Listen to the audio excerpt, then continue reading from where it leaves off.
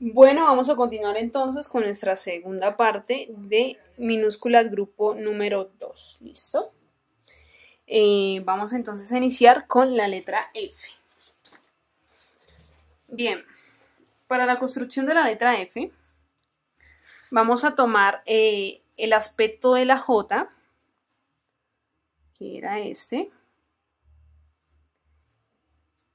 sin necesidad de hacerle eh, ningún tipo de añadirle línea de conexión ni nada, tal cual como lo tenemos acá. Eh, vamos a estar usando entonces ese aspecto. Y adicional a ese, vamos a agregarle eh, un óvalo con una virgulilla, o sea, una línea curva en su parte superior. Ok, entonces tenemos J más eh, parte superior. Como parte eh, central vamos a mirar las posibilidades que tenemos para sacarla. Una puede ser agregando una línea y una comilla como la que vimos en la V minúscula o sacándola de este mismo aspecto. Pero vamos a mirar cuál nos sirve de acuerdo a lo que estemos haciendo nosotros. Iniciamos con la J. Recomendable iniciarla por debajo de la línea del ascendente. Ahora realizamos el giro con la virgulilla. Y en el caso de que tenemos acá, puntualmente vamos a hacer la línea y la apertura. O la otra opción también válida es que simplemente se deje de esta forma o que esta línea baje más. ¿sí? Eso depende de lo que ustedes estén haciendo. Vamos a mirarla en un solo trazo, en un solo color, con esa característica, que puede ser extendiendo esta forma y acá simplemente llegamos. ¿Listo? Se tiene que entender que sí o sí es una F. Vamos entonces a hacer nuestra palabra por F. Y vamos a escribir la palabra fantasía.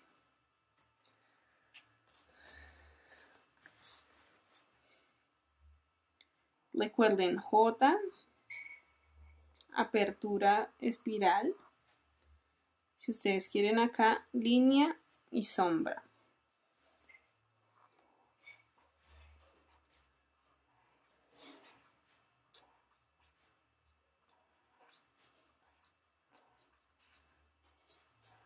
Fantasía. ¿Listo? No se les olvide estar aplicando movimientos entre letras y eh, los aspectos de eh, base y base final e inicio, ¿no? Para que la palabra se nos vea totalmente equilibrada al lado y lado. Ok, continuemos entonces ahora con eh, nuestra segunda letra, que es la letra G. Ok, entonces en la letra G vamos a tener lo siguiente.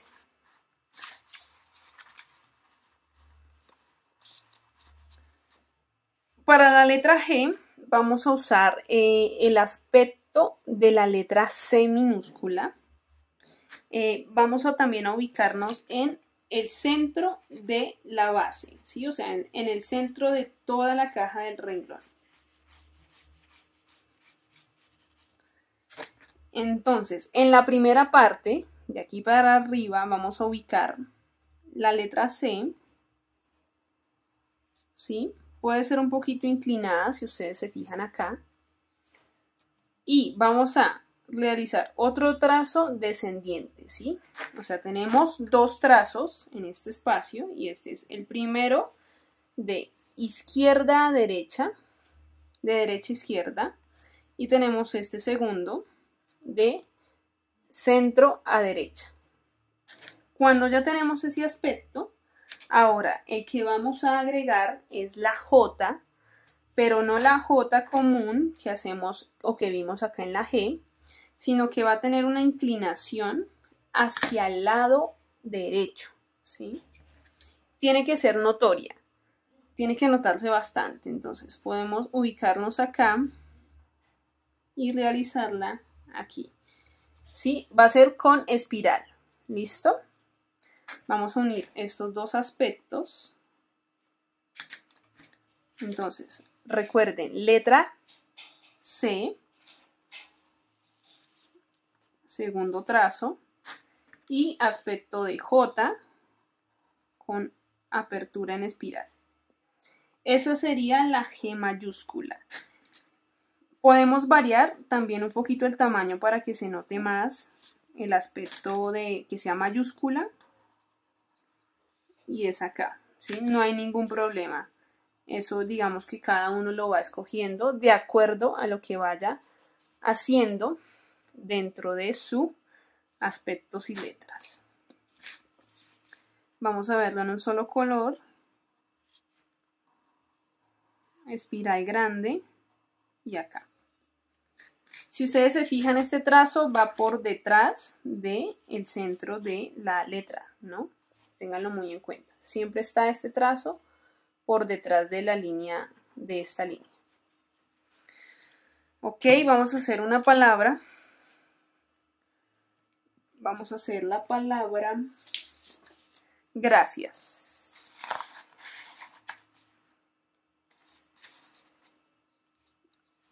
Iniciamos entonces. Apertura.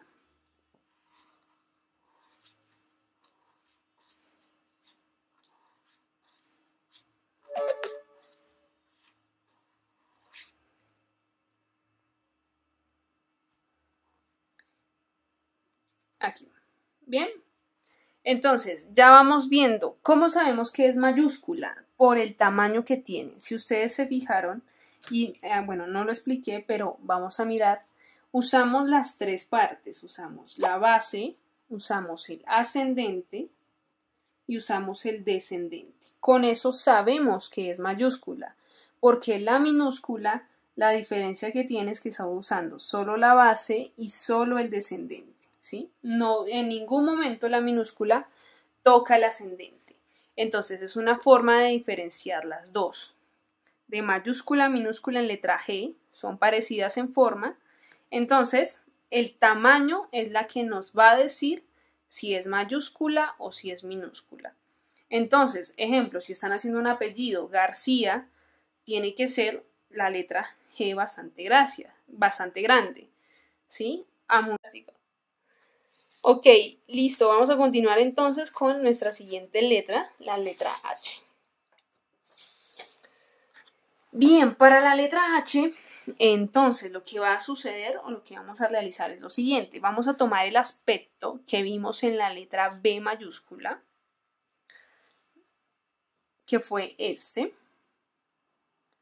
que es un tipo J, que también es curvo. No se nos olvide aspectos que tenemos en, que es esta curva y esta curva, ¿no? Importante que lo recordemos. Vamos a tener este aspecto. Y adicional a eso, vamos a sumarle una línea, una especie de L sin necesidad de apertura, que va a ser esta. ¿Qué va a pasar? Entonces, tenemos este primer aspecto. Hay que tener cuidado y ojo con dos cosas esta línea que sale no puede estar tan arriba, sino que vamos a girarla antes o en el centro. ¿Listo? Importante, de esta forma. Llegamos acá, giramos en el centro. Luego sí, añadimos tanto por encima como por debajo este, esta L, por así decirlo. ¿Listo? Entonces, importante que tengan eso en cuenta con la H. Esta línea de acá, que tenemos acá, va a estar en el centro, en el centro de la letra. Listo, vamos a hacerla en un solo color. Tenemos esto acá, centro, letra, letra L. La distancia es otra cosa importante. Entonces, esto no es tan la, no está tan lejos, ¿sí? No tienes por qué estar tan separado. Vamos a ligarlo un poquito más, que quede más juntico y demás cositas. ¿Listo? Esto por el aspecto. Y en el caso de la L o el aspecto final va a subir un poco por encima de toda la caja de escritura y por debajo usando el ascendente, el, el descendente, perdón, usando el descendente. Listo, entonces tengamos eso en cuenta cuando pasemos a trabajar. Vamos entonces a hacer una palabra. Vamos a hacer la palabra hasta. Entonces tenemos acá giro en el centro hacia abajo, letra L. Podemos ligarla sí y no, depende de este aspecto, ¿sí?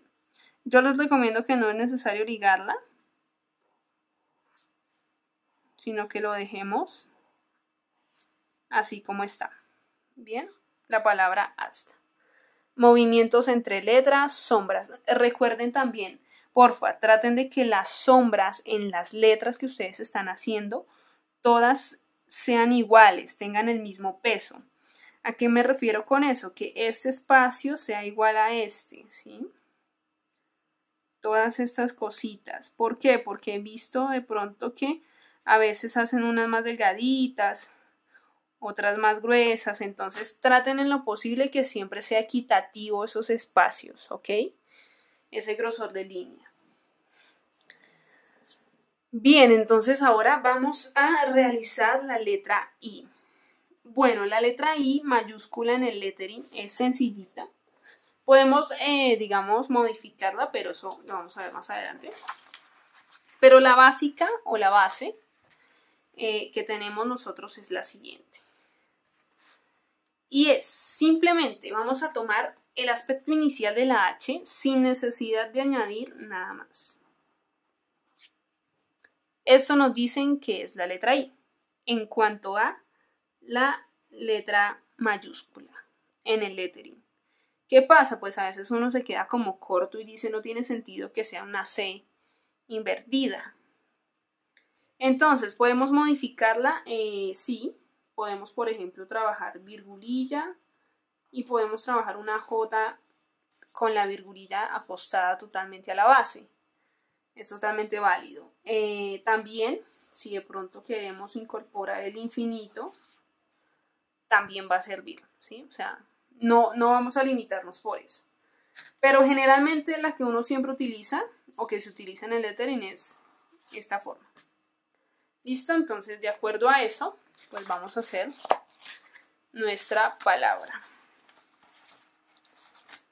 Vamos entonces a hacer la palabra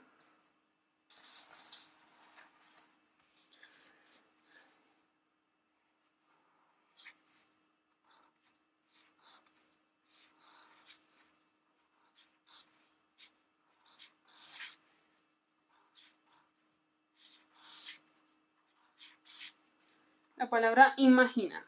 Bien, entonces, ¿cómo sabemos que estamos en mayúscula? Eh, base ascendente, ¿no? Eso aplica para todas. Y movimiento de la imagen. Y obviamente se denota eh, que es una I mayúscula. ¿Qué pasa? Pues que hay que tener claro que lo que yo siempre les digo, uno escribe para la gente y puede hacer que la gente no entienda que eso es una I. Entonces, eh, tratemos de hacerla lo más claro posible. Entonces, si necesitan alguna de las otras dos, pues ustedes lo hacen, ¿sí? Porque de pronto habrá alguien que le ama eh, solamente este espacio, ¿sí? Entonces, por esa razón.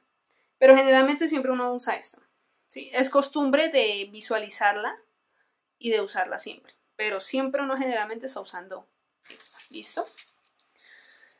Ok, continuamos con la siguiente y la última letra del grupo número 2, que es la letra J. Bien, en la J vamos a hacer lo siguiente y es, iniciamos con una línea curvita sin nada, digamos, añadido Y vamos a usar, importante, base, ascendente y descendente. Vamos a usar los tres aspectos, ¿listo? Vamos a usar los tres y añadimos después de la línea desde este punto de acá, eh, vamos a acordarnos del final de la G mayúscula, que era inclinada, ¿no? Y que tenía una especie de espiral. Entonces vamos a agregar esto acá. ¿Listo? Eso sería la J. ¿Cómo se ve? De esta forma. Tenemos este aspecto. Tenemos acá y acá. ¿Listo? De pronto si queremos eh, hacer alguna modificación, la vamos a poder ir haciendo cambiando de pronto el inicio. Óigase bien, solamente el inicio, o sea, la parte rosada que tenemos acá. Bien, eso lo vamos a ver a continuación. Entonces, tenemos línea, espiral y salimos. ¿Cómo sabemos que es mayúscula? el uso de los tres aspectos, ¿no? Base, ascendente, descendente. Vamos a escribir una palabra. Y vamos a escribir acá la palabra jónico.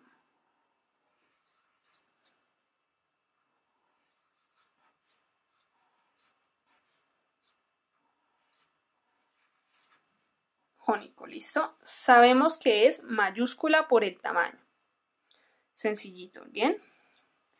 Listo, chicos. Entonces, eh, eso sería por el lado de las mayúsculas en su estructura básica. ¿Listo? Ténganlo en cuenta, estructura básica.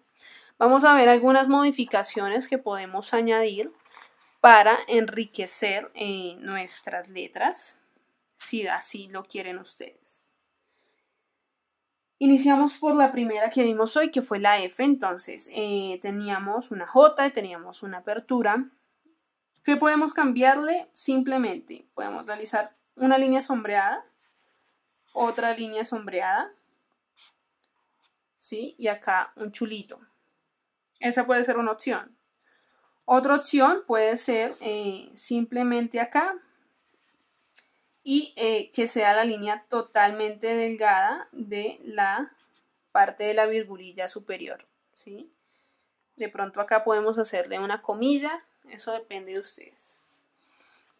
Eh, otra forma que de pronto podemos implementar también eh, es hacerla completa, que en ese caso podríamos llegar acá y hacer esto acá, ¿sí? Se entiende como F. O sea, lo importante es tener la estructura, ¿sí? Que la entendamos como una F. Esta es la F mayúscula, ¿no? Nada de hacer minúsculas con mayúsculas. O sea, ejemplo, si vamos a escribir Fabián, usamos mayúsculas. No vamos a usar la letra F minúscula que vimos anteriormente, que era esta. ¿Bien? Esta no. Siempre se va a usar mayúsculas para nombres propios y demás cosas. ¿Bien? Importante que eso, porfa, lo tengamos en cuenta. Ok, letra G. Bueno, en la letra G, ¿qué posibilidades tenemos?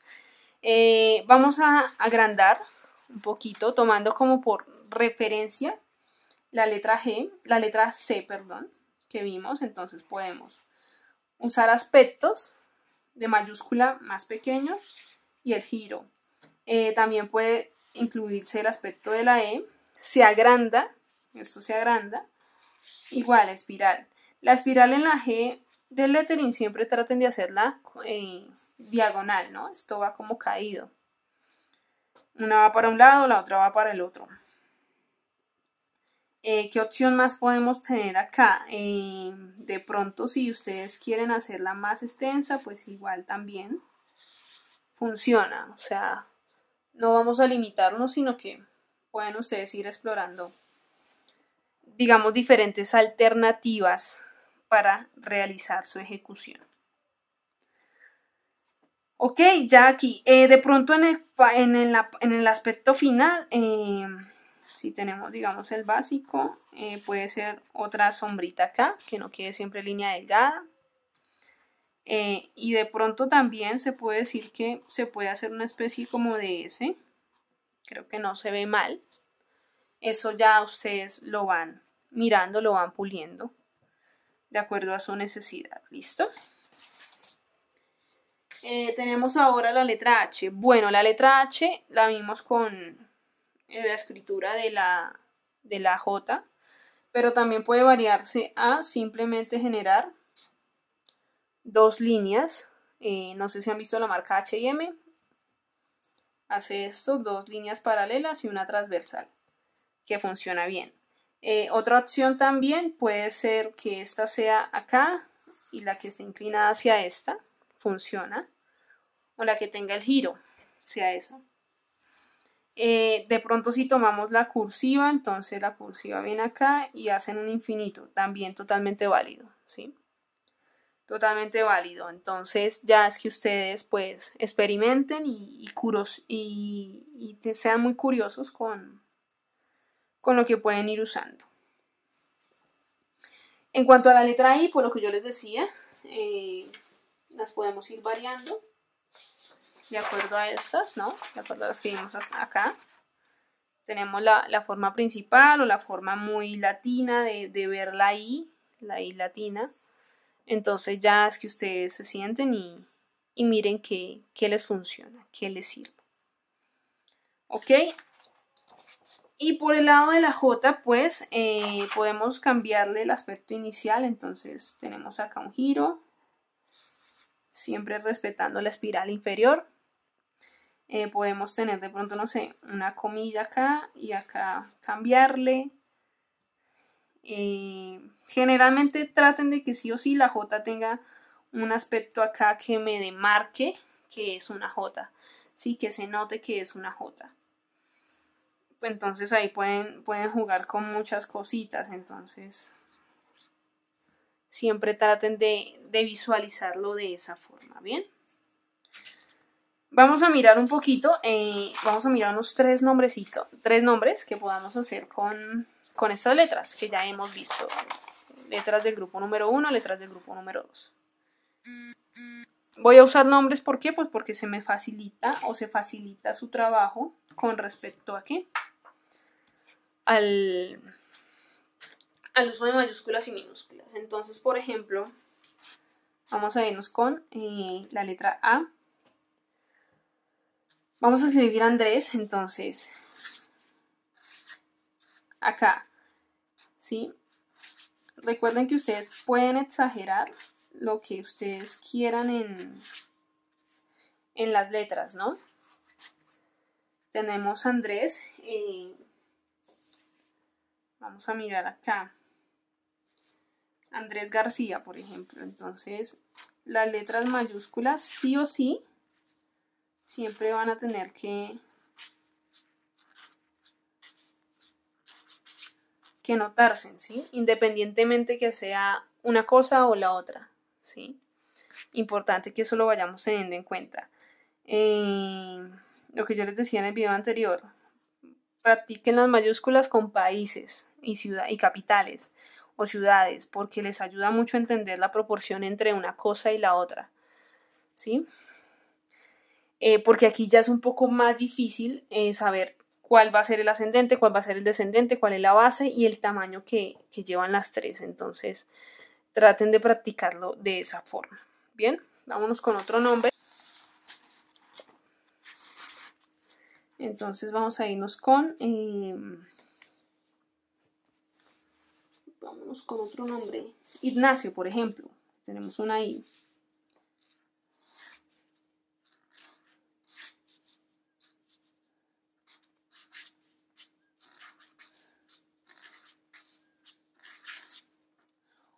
Bueno, ustedes se preguntarán, ¿acá yo dejé la G independiente y se puede? Sí, totalmente. No hay necesidad siempre unir las cosas. Vamos a poner el apellido Botia, de pronto, que nos puede servir.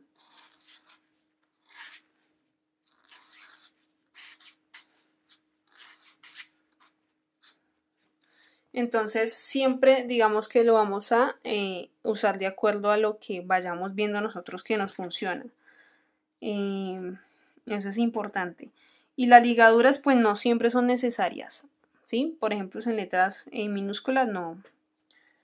De letras minúsculas descendentes no es necesario ligarlas siempre. Eh, vamos a hacer otro. Uno de mujer de pronto. Miremos. Eh, por ejemplo, Karina, que es con K. Ah, pero la K no la hemos visto. Miento. Eh, vamos a hacerlo entonces con con Fabiola, que ya lo vimos, letra F, entonces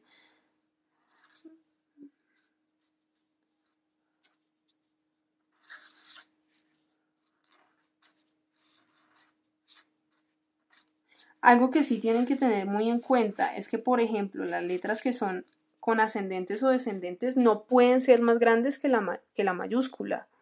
Eso sí es importante que lo tengan en cuenta. Em, vamos a ver el apellido. Por H. apellido es por H.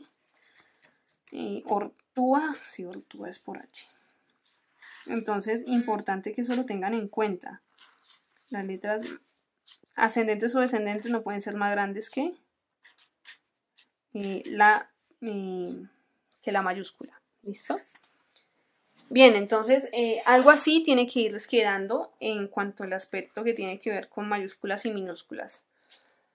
Entonces, recapitulando un poquito la clase de hoy, mayúsculas tenemos 5 del grupo número 2, y eh, con relación al aspecto entre mayúscula y minúscula, las mayúsculas siempre deben de ser más grandes que las letras ascendentes o descendentes. Eso quiere decir más grandes que una B o más grandes que una P o una Q o una Y. ¿Listo? Siempre.